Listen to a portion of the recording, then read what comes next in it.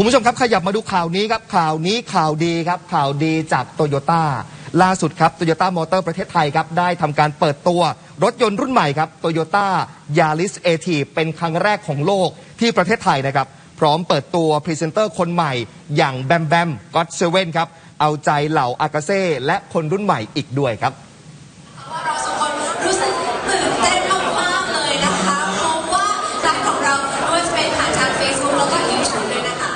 นี่คือบรรยากาศงานเปิดตัวรถยนต์รุ่นใหม่ล่าสุดครับ Toyota Yaris a t i v ของบริษัท Toyota Motor ประเทศไทยจำกัดบรรยากาศนี้คึกคักนะครับ โดยมีนายสุรศักดิ์สุทองวัน รองกรรมการผู้จัดการใหญ่ เป็นผู้แนะนำรถรุ่นใหม่นี้ครับ ภายใต้คอนเซปต์ รถยนต์ที่เป็นที่ชื่นชอบของทุกคน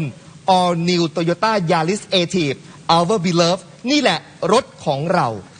นี่ตอบโจทย์นะครับ ตอบโจทย์ทุกไลฟ์สไตล์ของคนรุ่นใหม่ ด้วยฟังก์ชันสุดล้ำที่เหนือกว่ารถรุ่นปัจจุบัน พร้อมกันนี้ครับข้อเสนอสุดคุ้ม และแพ็กเกจการขายที่ให้มากกว่าการเป็นเจ้าของรถยนต์จำนวนทั้งสิ้น 4 รุ่นด้วยกันครับ ได้แก่ Premium Luxury Premium Smart และ Sport ครับนอกจากนั้นแล้วนะครับ ยังได้เปิดตัวแบมแบมกันพิมุกภูวกุล ศิลปินเชื้อสายไทยที่โด่งดังในประเทศเกาหลีใต้ เป็นพรีเซนเตอร์คนใหม่อีกด้วยนะครับสำหรับคุณผู้ชมท่านใดที่สนใจครับ สามารถสัมผัสและทดลองขับได้ในงาน The Big Motor Sale ในระหว่างวันที่ 19 ถึง 28 สิงหาคมนี้นะครับ ที่ศูนย์นิทรรศการ และการประชุมไบเทคบางนาครับ